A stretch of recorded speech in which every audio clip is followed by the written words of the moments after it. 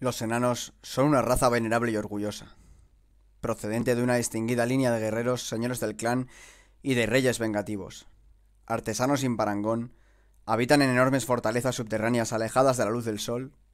Los tradicionalistas enanos tienen mucho en común con sus reinos de piedra, ya que todos ellos son cabezotas e inflexibles como una roca. La gloria de los días pasados. Desde tiempos inmemoriales, el reino enano ha estado centrado en las montañas del fin del mundo. Esta enorme y amenazadora cordillera, que marca el límite oriental del mundo, está acosada por ventiscas y tormentas del hielo de tal magnitud que sus piedras de granizo pueden desollar a un hombre. Esto no molesta a los enanos, puesto su reino está casi todo bajo tierra. Además, cualquier enano te dirá que está encantado que esas preocupaciones acerca del clima no tienen importancia alguna para una raza tan dura como los hijos de Grunny. Los enanos son los mejores mineros, tuneladores e ingenieros de todo el mundo. En el auge de su imperio, sus monumentales fortalezas subterráneas se extendían desde el lejano norte de los desiertos del distante sur. Un enorme baluarte de bóvedas, torreones y alcázares que mantenían a raya a las hordas salvajes. Incluso hoy, sus palacios subterráneos y sus salones abisales, a pesar de permanecer ocultos para gran parte del mundo, son auténticas maravillas de la arquitectura. Las cavernosas estancias de Caraza Carac son las más sobrecogedoras. Incluso la sala de entrada es lo bastante grande como para coger fácilmente el gran templo de Sigmar de Aldorf. Por desgracia, los días de gloria para la raza de los enanos ya pasaron hace mucho, ya que durante la era de la aflicción, una serie de terremotos cataclísmicos y de erupciones volcánicas destruyeron no solo las fortalezas y asentamientos de la antigua civilización, sino también el extenso camino subterráneo que los enlazaba entre sí y permitía el fácil acceso y comunicación entre las fortalezas. Los enemigos ancestrales de la raza enana han aprovechado cualquier oportunidad para sacar partido de esta desgracia, luchando constantemente para demoler y destruir lo que queda del imperio enano. De hecho, los últimos restos de la civilización enana están enzarzados en una batalla perpetua contra los orcos, los goblins, los trolls, los scamens, los dragones, los demonios y el resto de monstruosos horrores que habitan en las montañas del viejo mundo. Los hijos de los dioses ancestrales. No es sorprendente que los enanos se encuentren en el hogar en los túneles que recorren el viejo mundo.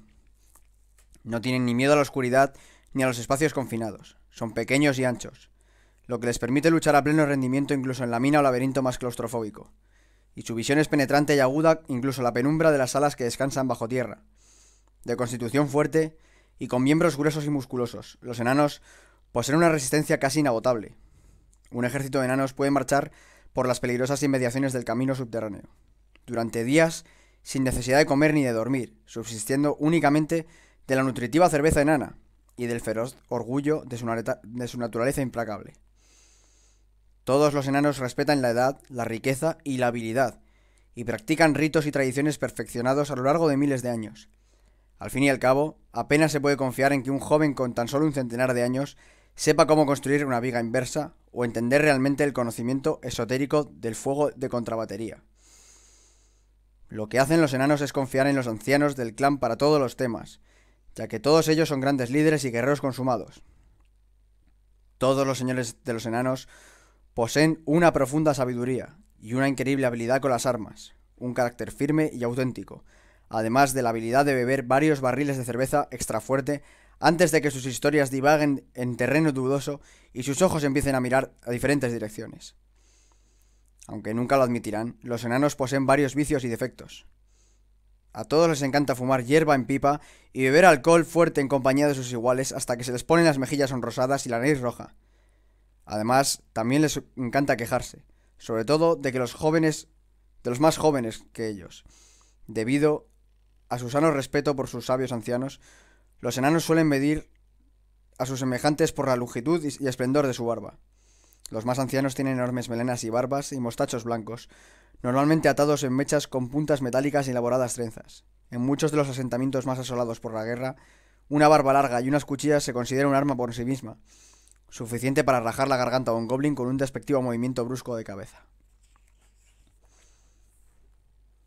De todas las razas del mundo, los enanos son los que más destacan en la creación del artefacto. Cada una de las grandes fortalezas es básicamente una red acorazada construida alrededor de profundas vetas de metales raros y preciosos. Incluso una beta de metal que los enanos conocen como Gromlin es de valor incalculable.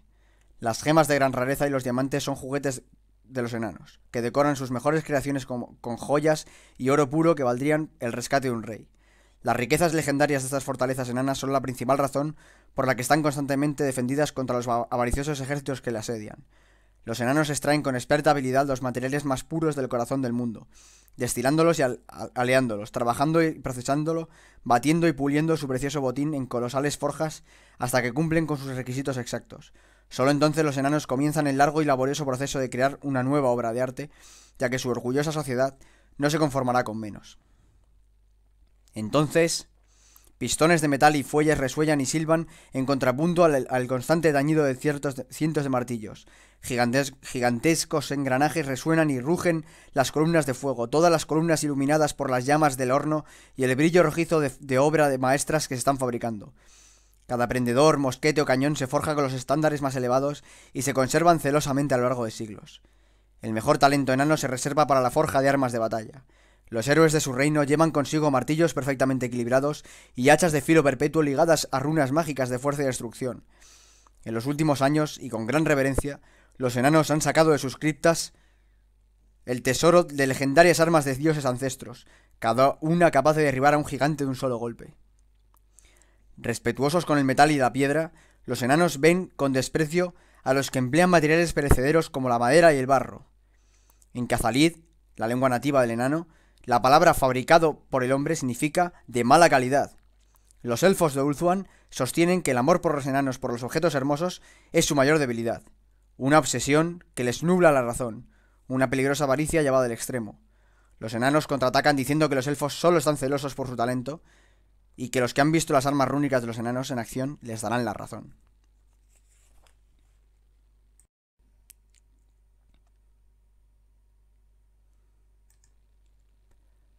Aunque todos los enanos son expertos artesanos, los que pertenecen al gremio de ingenieros son los armeros más dotados. En los últimos tiempos se han vuelto tristemente famosos por sus éxitos clamorosos. Para entender realmente por qué, primero se debe entender el dilema que afronta la raza enana. Los enanos valoran la tradición y el protocolo, y muestran una profunda desconfianza por cualquier cosa nueva y que esté por demostrar. Al fin y al cabo, ¿qué tiene de bueno un arma que puede fallar a su portador en un momento crítico? Por desgracia, cada década el imperio enano se reduce un poco más, y los asentamientos asediados caen entre los ejércitos del mal que acechan en los pasos montañosos. La situación de la raza enana es tan apremiante que el lujo de las circunstancias y la precaución a menudo se deja a un lado y se toman soluciones más, más drásticas. La verdad sea dicha, a pesar de los recelos y de los ingenieros más tradicionales, el enfoque experimental actual ha llevado a importantes avances en la ciencia militar de los enanos. Del gremio de los ingenieros no solo han surgido el arma de la pólvora negra, laboriosamente perfeccionada en, forma de mosquetes enanos y cañones grabados con runas, sino también avances en armas balísticas tradicionales, entre ellas las ballestas metálicas de doble resorte, piezas metálicas de artillería, artillería para lanzar virotes, lanzadores de piedras y máquinas de guerra aún más extrañas y potentes. Fue el gremio de ingenieros el que se adelantó con el girocóptero una, herramienta vital en la red de comunicaciones de los asentamientos supervivientes. El cañón lanzallamas, inspirado en las bestias que escupen fuego en los picos más elevados. Y el cañón órgano, que por sí solo cuenta con la potencia de una pequeña batería de cañones. Los últimos inventos desvelados por los ingenieros renegados incluyen cepelines de guerra cargados con cañones, máquinas de guerra a vapor forjadas a semejanza de los dioses ancestros enanos, y las siseantes bestias de una caldera en su interior, tan apreciadas por los ingenieros en Karak-Hirn. A los enanos más viejos les gusta refunfuñar y decir que se trata de indulgentes creaciones de jóvenes imprudentes con ideas demasiado grandes para sus botas, pero quizá estas nuevas máquinas de guerra sean precisamente lo que los enanos necesitan para detener el declive de su raza y restaurar el esplendor en sus tierras ancestrales. La sociedad enana se divide en muchos clanes, y cada uno de ellos cuenta con orgullosas tradiciones y costumbres, además de insignias y heráldicas distintivas. Aunque muchos de los clanes tienen rivalidades desde hace, tiempo, normalmente se pueden dejar a un lado por el bien de todos, ya que el desmoronado imperio enano es acosado por todos los frentes. Los guerreros enanos de, cualquier clase normalmente prefieren luchar al estilo de sus ancestros. Ambos, ambos pies firmemente plantados en el suelo, el pecho inflado, arma artesana en la mano y escudos entrelazados de sus compañeros de armas a cada lado. y también los veteranos de los ejércitos enanos, los barbas largas de la línea principal de batalla, los martilladores que hacen de escoltas del rey, y rompehierros que luchan cada día para que los túneles no estén plagados de goblins y scavens. Ataviada con armaduras más pesadas, la infantería de élite de los enanos muestra resolución ante las mayores adversidades. No hay fuerza invasora en el mundo que no, haya que, no se haya quebrado ante un muro de escudos enanos. Igual que, que las olas rompen contra los acantilados, dispersa y obligada a retroceder por un inmutable bastión de metal, músculos y actitud belicosa. En los últimos siglos los enanos han batallado en una docena de frentes. Cada entrada en el libro de los agravios debe saldarse, normalmente con sangre. El gran rey actual, Thorgrim Custodio de Agravios, está obsesionado con zanjar un antiguo agravio tras otro. Transportado sobre el antiguo trono del poder, Thorgrim dirige a sus gloriosos ejércitos a la batalla, miles de botas pisando con resolución los sinuosos pasos y carreteras del viejo mundo.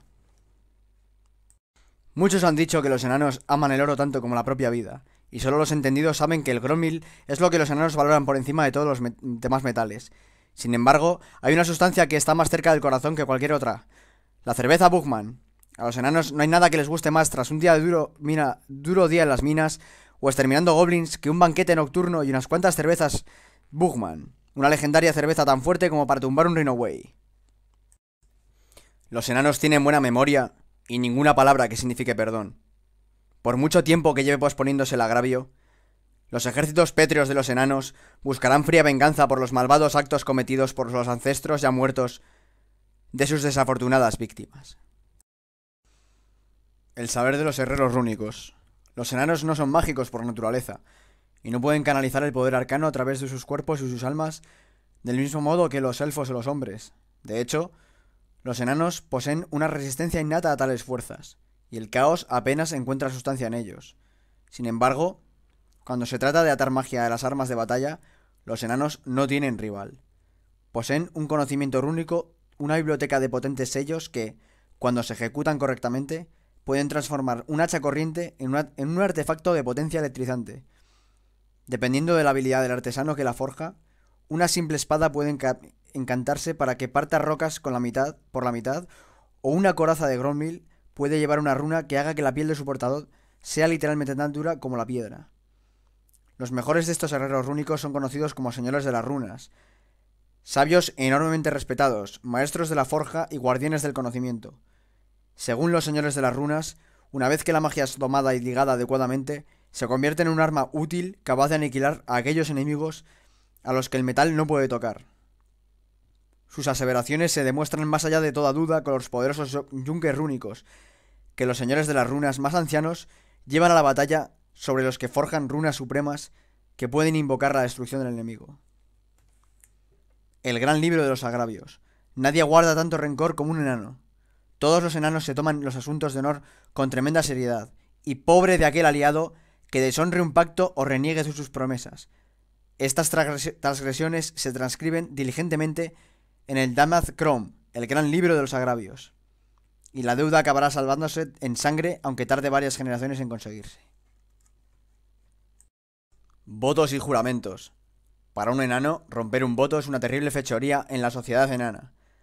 A aquel que comete este atroz crimen, se le afeitará la cabeza, se le teñirá la barba y se hará jurar el juramento del matador, para que dedique el resto de su vida a buscar una muerte gloriosa en la batalla contra el enemigo más terrible que pueda encontrar.